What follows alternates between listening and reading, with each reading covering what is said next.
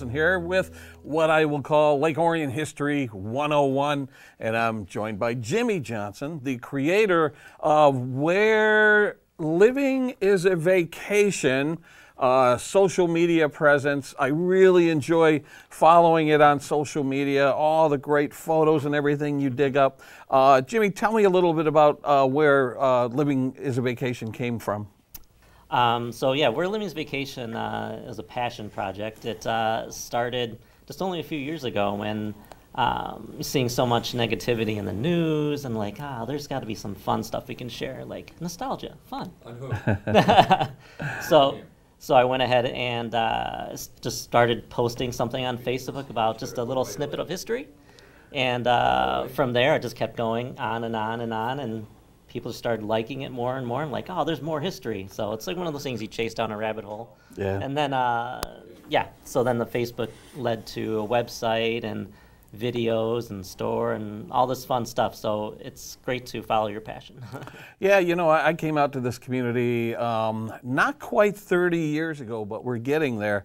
And it, it's been fun learning about the history of Lake Orion. Like, I didn't realize when I first came out here the, the history of Park Island on the lake. And uh, I'm always learning something new about the history of Lake Orion. And it's just fascinating. And for, I'm sure most of you know watching that uh, Lake Orion was a resort town. Uh, there were cottages out here, and people would board the train from Detroit and Pontiac and come out to Lake Orion to, you know, spend a, a weekend or spend the summers out here.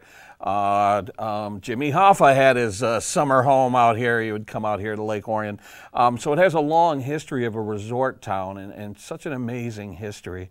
Um, today, I think we're going to start off focusing a little bit about uh, uh, Lake Orion schools, an amazing history of schools in Lake Orion. So, uh, Jimmy, get us started with what you have.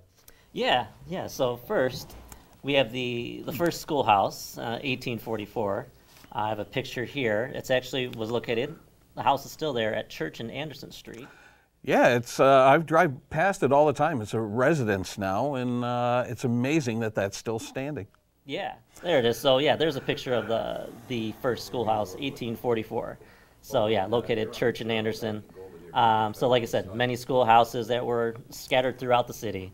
So it was great to um, um, it was great for children to go to these smaller schoolhouses and easier to travel back and forth. So, like like Harvard School. We got to get in there sometime. I th- um, uh, one of these days we'll have to reach out to the homeowner there and see if they can give us a tour. Yeah. Uh, what a what a historic uh, gem. Yeah. Um, so this brings us to like the uh, the next school. So 1893. Notice this building is not around in the area right now. Um, so that's okay. considered Lake Orion's first high school, right? Yep, first high school, built in 1893. It's a four-story school, and uh, again at the corner Elizabeth and Lapeer, um, and it served grades 1 through 12, so big spans. Uh, it was high up above on the hill, so it had a good view of the city skyline. Uh, had a large bell tower at the top. Um, but back in the, uh, the 30s, the, with the Works Progress Administration with FDR, uh, putting people back to work. They knocked it down, and uh, due to they're expanding, there's more students, so they moved on. Now, did that stand where the the Elizabeth Street School is currently standing, or was that in a different part of town? I believe it was in that same general area. Might have been even next door because kind of like the the times crossed over. Mm, okay. What a beautiful school! Just a Gothic-looking school. Um, it's just amazing. It's a shame that it's not still there today, but uh, what an awesome uh, piece of history. It's the only picture that I could actually find online of it. yeah, that, I've only seen one photo of that school. There's got to be more out there, but that's the only one I've ever seen. Yeah. So, so afterwards, uh, we move on to 1927, the, the school that we know now, um, the Elizabeth Street School, uh, served as the, the high school for quite some time for K through 12. Uh, the one pictured here yeah, you just recently posted this picture on social media, and it just blew me away. Uh, it looks like a movie set or something with the, the vintage cars parked in that lot. And it's amazing looking at that photo how little things have changed. Yeah, yeah, exactly. You still see the, the fa facade, the architecture's still there, uh, the, the entrance, how the rounded entrance is still there. So yeah, this this was an awesome find. Um, this one's actually a photo from uh, 1930, and um, next door to it too, there was like a smaller uh, schoolhouse as well. Um, so through the years, you know, it was in operation through the 90s. I had the Boys and Girls Club. Yeah. Um, now, speaking of that, um, you know, the school is still standing today. It's known as the Eman Center today, named after Fred Eman. And in 2014, there was a, a group of entrepreneurs who purchased the building and had some plans for it. They were going to be residential units, uh, maybe a restaurant in the gymnasium. Unfortunately, that didn't quite uh, pan out. But we do have video uh, when uh, they purchased it, and we actually walked through the building. So I'm going to start the video here. Um, and uh, it was my, I don't know if it was my, no, it wasn't my first time in the school because I had gone inside the school when it was the Boys and Girls Club and that sort of stuff. But here's a look at the interior of the school. Uh, there's the gymnasium. Um, and uh, here's some footage uh, from 1995 where they held a senior citizen prom in the gymnasium. And, um, and that's when it was still operational, where the Boys and Girls Club was, was being used uh, Yeah. there. And the kids would play basketball and board games. And high school students uh, came together with senior citizens and had a little prom there in the gymnasium, which is so cool to see now. Uh, there's the group that purchased it. Um, it's cool to see the old Orion High School uh, still appear above the door. Yeah, look at the old Uh, chalkboards old and cabinets, and chalkboards. cabinets. Uh, and there's that Oh, there's that logo. there's logo. that logo. Now you have a picture of that logo, and Yeah. um, since I shot my video, they have since removed uh, that logo from the floor. Why don't you talk about that a little bit? Yeah, so here's a here's a close-up picture um, of that uh, dragon mascot, and uh, it was actually originally drawn uh, in 1945 uh, by Patricia Olson, who went who attended the school, um, and then later on it was painted uh, in 1947 by Reuben Barclay and John Dorr, and they were the class of 1950. But like Joe was saying, it was so glad they were able to cut it out, move it. They had a parade with it, I believe. Yeah, so now it gets transported like on some sort of a trailer that has it encased in plexiglass or something, and so that'll be preserved for future generations. Because you can imagine if they were to leave it there on the floor, people would be walking on it, and it would be Oh, yeah. lost to time. Yeah. Uh, they so incorporated cool. this actually into uh, the, the high school's gym. You'll see it on the wall on the concourse. As you run around, they have it behind the glass. It looks great.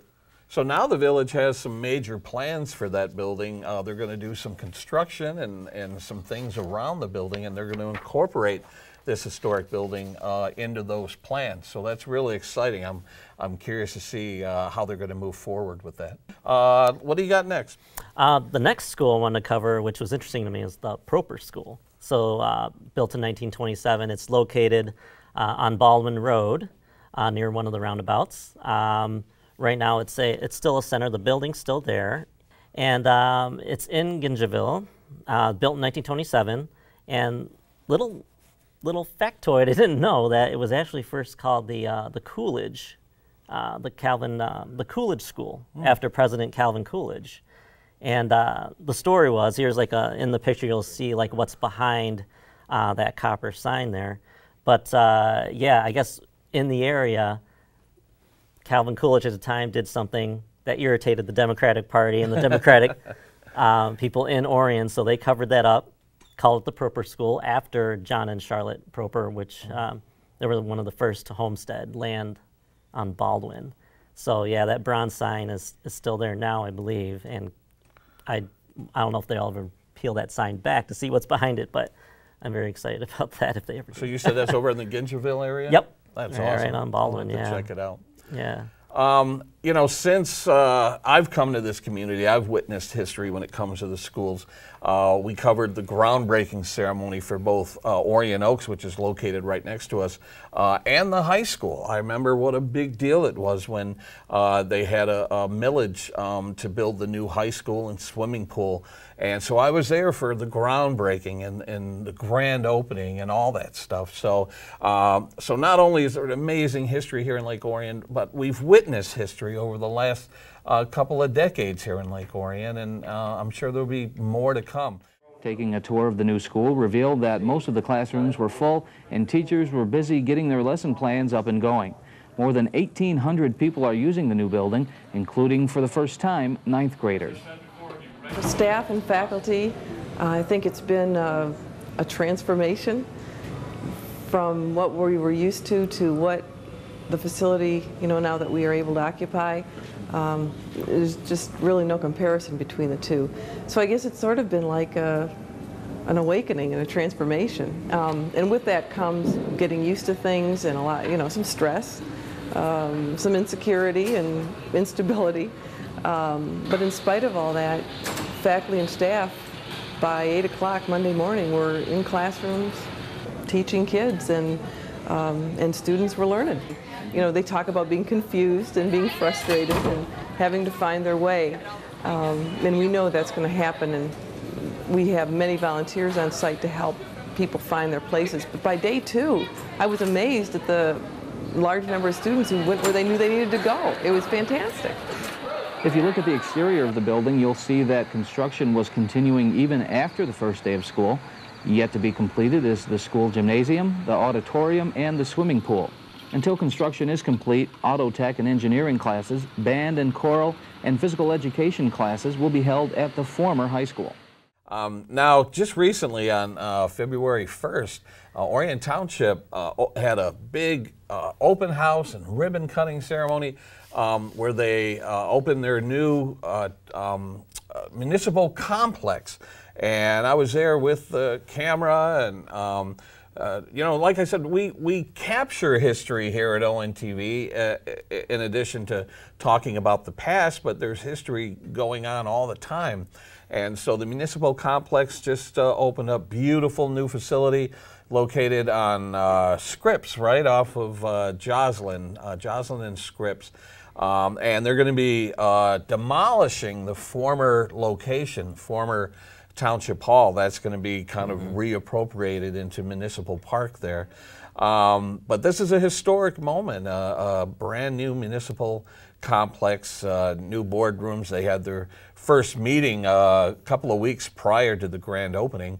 Um, but it's just an amazing facility, amazing technology, uh, wide open, bright, uh, brightly lit. Um, so I thought we would uh, use this as an opportunity to talk a little bit about the history of Town Hall and Village Hall uh, here in Lake Orion. Um, so prior to uh, Orion Township and all that stuff, we can go all the way back. I see you have a photo standing by. There's yeah. a there's a uh, brick uh, in the old town hall in downtown Lake Orion where 313 Pizza now stands um, that says 1900 on it. 1900, yeah. So there are some buildings that date earlier than that in downtown uh, Lake Orion. There's mm-hmm. uh, where where Bean to Go is right now. That used to have a sign out of this at 1881 on it. Yeah. Um, so that that was a bank, and that goes way back. Um, tell us about yeah. this uh, photo that you have here in front of you. So yeah, with the, this photo here is the Township Hall 1939. So here's a snapshot in time here. You see the firefighters and uh, has a list of all the firefighters' names. The last names, uh, many have um, have family that are still in Lake Orion, which is great. So yeah, this building now has the same facade. Still says Town Hall 1900, and uh, now Home 313 Pizza next door, uh, the Heritage Spinning and Weaving. But uh, I just absolutely love this photo. I think they have it in their restaurant too. So it's it's a very very nice snapshot in time. yeah, yeah. The village offices were there for a long time before they moved over to the church on Church Street. Um, but it's it's really great that um, initially, and I have some video here if we want to go to it. Initially, when the village offices moved over uh, to the church. Uh, it was Lockhart's Barbecue that moved into that building. Let's take a look at this video here. Um, mm-hmm. There's uh, Drew cutting the ribbon on Lockhart's barbecue. and uh, it was really surprising to me that the village offices had moved out of that building because that had been village offices for such a long time. And you'll see some video coming up here in a moment uh, that shows. Look now, here's yep, here's that same building hall. with a horse-drawn fire uh, truck there's some of the village offices uh, I shot back in 2014. Uh, the, the police department was located in that building as well. As a matter of fact, former Chief uh, Jerry Narsh, he says that his office is now the men's room at 313. Um, there's the rear entrance of, of the building, which is now Lockhart's Barbecue. And, and like I said, it's really awesome that they've embraced their history. You'll see um, historic photos and archival photos uh, hanging on their walls. Um, there, look at this. This is amazing. This goes way back. Yeah. Um, this is similar to the one that you had. Yeah. Um, wow, that's so interesting. I haven't see it seen that one. evolve over time. Look at that, Hiller's department store to the, Huh. to the right there. Um, so some really amazing history. Uh, we recreated this photo that you see here with the fire department. We went out there and parked the Oh, yeah. Mm-hmm. fire trucks right in front of the building and tried to recreate that historic photo. And the township had uh, pulled out a drone and got some aerial shots and stuff. So yeah, that's an amazing photo. um, so yeah, so it's it's it's such a historic building, and it's had an amazing life as town hall. And yeah. now you have a uh, photo of another town hall. Let's talk about that a little bit. Yeah, this was another town hall uh, pictured here in 1956. So this is at 571 South Lapeer Road. So before this, used to be a nightclub, a dance hall uh, in the mid 30s, and eventually a sheriff's station. It was a senior center. So it got repurposed over and over and, uh, until Jacobson's bought it uh, in 1996. But uh, yeah, I think fr- on from here, I believe Joe, the next one was 1974, which is the one they just moved out of. Yeah, yeah. We'll talk about that one in Yeah. a second. I actually have a video of the former township hall. You can see the signage on the building says uh, Orion Township Community Center. Um, when the sheriff's department uh, opened up their Orion Township substation, it was actually at this facility, this building.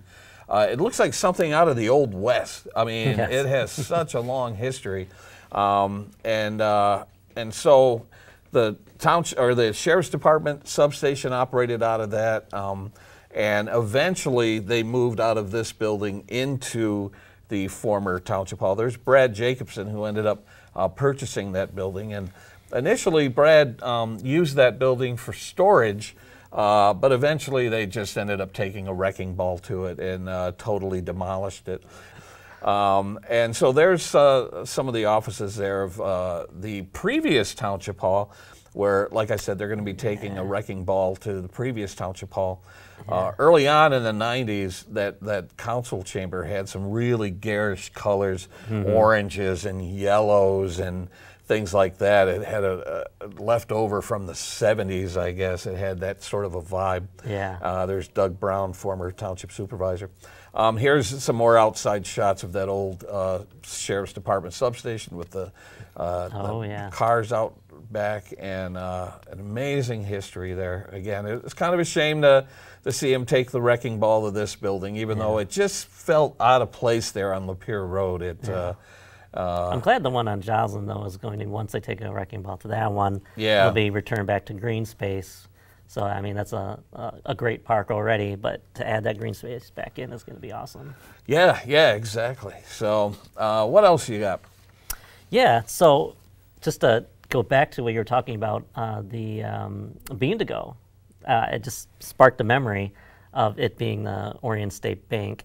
And um, after the Orion State Bank, uh, there was a restaurant that they uh, opened in there. And uh, they ended up calling it the Vault Restaurant. I believe it's the Vault Restaurant. And um, there's an actual bank vault, obviously, because it was a bank. And they tried to incorporate, uh, they wanted to remove it out of the restaurant, but they couldn't. So they ended up making it a little uh, a dining room in there. And they put a table in there, and you can eat in the vault. That's awesome. yeah. So Is it still there in a bean to go, or did they? I don't know. I don't know if they ever dismantled it. I mean, when you walk in, you, you can't really see where that vault would be. But uh, but even their menu was like a, a bank statement. It had all the the wines listed, and Yeah. so they really uh, just tapped in, leaned into the uh, the bank feel. Yeah, I know that uh, when it was a bank, uh, someone told me a story that uh, there was a bank robbery that uh, they went in, they robbed the bank, and took off. And the people that were in the village at the time all gave chase and chased Oh, down the bank robbers and stuff. So Lake Orion had its Bonnie and Clyde style bank robbery back in the day. Yeah, definitely. I didn't know about that. Now, um, uh, one more thing about uh, Township Hall, Village Hall. So, uh, Village Hall offices were in that Town Hall building on Flint Street in downtown Lake Orion.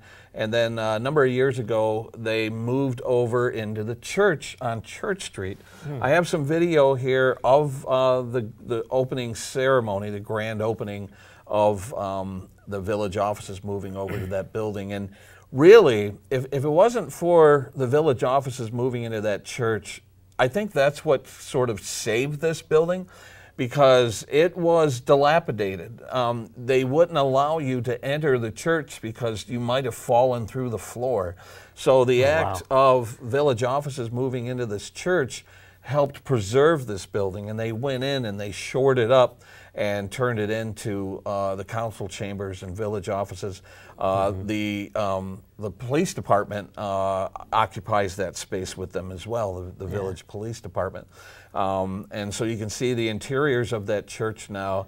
Um, they really salvaged that building, and it's uh, really amazing what they've done there. The front porch looks familiar too, isn't it? When they had a movie filmed, I remember. Yes, they did. Uh, the uh, Nain Rouge. Yeah. Uh, what was it? Uh, Dawn of something. Yeah. Um, but they did film uh, a film, uh, a movie there. Jerry Narsh, our police Star, former police heard, yeah. Yeah. uh, and it tells the story of the Nain Rouge, which is a long-time Detroit tradition of a little. Pixie or something that used to cause trouble, Mm-hmm. um, but yeah. So they filmed a, a scene there, and uh, there's Darwin McCleary, our former village supervisor, Mm-hmm. um, so yeah, so it's interesting to see how they were able to save this uh, building and and uh, move the township offices into it. So Yeah, that's All right. interesting. what else you got? So yeah, um, we're gonna go back into time, farther back into time. so uh, early 1900s. So Park Island, the amusements. Um, you've heard of the Thriller roller coaster that was on Park Island, and this Thriller roller coaster here, as you notice, you see like the big name on which I I don't know if that was ever saved, Lake Orion Coaster Thriller. That would be great if that was saved. But um, yeah, on Park Island they had you know obviously swimming, powerboat tours, penny arcade, uh, dancing, roller skating. Had all sorts of fun um, stuff to do on the island, and many vacationers this was considered up north back back when. So this was vacation land. So coming up here was you see they're all dressed to the nine, go on this roller coaster. Um, you know, in the in the 30s, um, well, actually, mid 1900s, they dismantled uh, the thriller and they actually used and repurposed the wood to create a, like a toboggan run with it as well. So it's good to see that. You know, after its age, it uh, was reused. Yeah. Yeah, apparently uh, there were several fires uh, on Park Island. The, the dance hall had caught on fire, and um, and after several fires, they just decided to sell the property and they built subdivisions there. But uh, yeah, amazing history. And I've talked to uh, senior citizens who. Uh, Used to go there, used to go to Park Island and on a date and play the games and ride the rides and the carousel and all that stuff. So Yeah. I don't know if there's many people around today that uh, actually step foot on there uh, when it was Park Island, but I've heard the stories. And there's one couple that I that I knew they had souvenirs that said, you know, uh, Park Island, uh, you know, little things they would win for, you know, Yeah, knocking down yep. the pins or whatever. So Yep. pretty pretty incredible, yeah. So there's another like the the boating too. Um, so here pictured is the the city of Orion boat, which before it was named that it was called the Chautauqua uh, boat.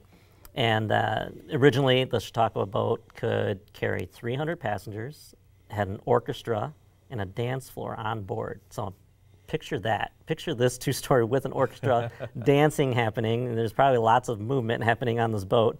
Um, the boat eventually capsized with the high winds, and then they end up rebuilding this boat uh, to what you see here, which is the, the city of Orion. Um, so after the demand died down and less uh, vacationers came up here, um, the boat was actually broken into pieces along with all the other passenger boats. uh, and a lot of that wood was um, put into the lake and the shore on Oak Lane. So back in the 30s. So I'm, I just wonder if any remnants of if you get any wood panels that come up in the water, maybe that's why. I had heard rumors, and again, these are just rumors, that um, they used to say that one of the boats may have been sunk just because they, they couldn't salvage it, so they sunk uh, sunk it in the lake. And I've always been curious. Those of uh, you who dive uh, on local lakes, I would love to send a diver down uh, in Lake Orion to see what's under the water. Um, there's there's talk of. Um, they used to have a contest every winter where they would park a, a jalopy on the ice, and people would would it was like a raffle, and you would pick a date in the spring where that car would drop through the ice, and whoever picked the correct date would win a prize or whatever. And I wondered when that car dropped through the ice, did they retrieve it, or are those cars sitting at the bottom of Lake Orion? right. I wonder if we have a dealership of cars at the bottom of Lake Orion. we got to get to the bottom of this. We Yeah. got to send uh, send a diver down into Lake Orion. I heard visibility isn't all that great uh, in Lake Orion, and it's pretty weedy. Um, Yeah. But gosh, wouldn't that be fun to send somebody down there and see what's at the bottom Yeah. of the lake? Now, for those of you who might not know. Um, lake Orion wasn't one big lake at one time. It used to be several smaller lakes, but when they dammed Paint Creek, they flooded those, I think, five lakes into one large lake that we enjoy today. So imagine the history that yep. could be sitting at the bottom of, oh of yeah. Lake Orion. Even one of those heavy magnets, like one of those strong magnets. I'm sure you'll end up pulling up a car. yeah. I have a. I just brought up another video here. I'll play a little bit of it. Uh, Reva Campbell, uh, whose family owned the marina in Lake Orion, um, they. Uh, they uh, Reva would offer a tour, uh, a tour of the lakes, and it was fascinating. Or, or the homes on the lake, and uh, she had really cool like archival pieces. Like if, if Lake Orion was to ever have their own museum, Reva would be a great source of artifacts for that museum. Uh, I can't remember if I have video of it or not, but one of the artifacts that she brings along on her tour was a one piece wool bathing suit that the women used to wear uh, at, uh, I think it was Bellevue Island. There used to be a hotel there. And uh, the Yeah. women, when they would go swimming in Lake Orion, would wear these heavy, there it is right there. Yeah. Uh, it's a heavy wool one piece bathing suit. That, that's one of the original bathing suits that was worn on uh, when the women Yeah. would swim in Lake Orion. So met so many um, artifacts and pieces that she's collected over the years. It's it's amazing what she has, and especially like one of the prizes from one of the games from Park Island. Yeah. She has. It's like the red glass that says Lake Orion on the on the side. It's Now you see them going cool. under this bridge. That's the Bellevue Bridge, and at one time, and I have footage of that too, um, is uh, it was a camelback bridge, and it was a big hump. And Mm-hmm. when cars would go to Bellevue Island, they would bottom out on this camelback bridge. So eventually, they had to demolish it, and they Yeah. gave it a longer sort of entrance and exit so the cars wouldn't bottom out. Um, but uh, yeah, so I have video of that, and and uh, Yeah. that, that there's photos of that Bellevue hotel that are just spectacular. Um, yeah, it's like picturesque out of a. You don't think it's from Lake Orion, but this Yeah. big grand hotel is was on the island. yeah, pretty amazing. yeah. All right, well, Jimmy, thanks for coming down and spending some time with us. We got to keep this uh, going in the future. Thank you for having me. so much to talk about. And uh, thank you for tuning in and uh, letting us share a little bit of Lake Orion's history.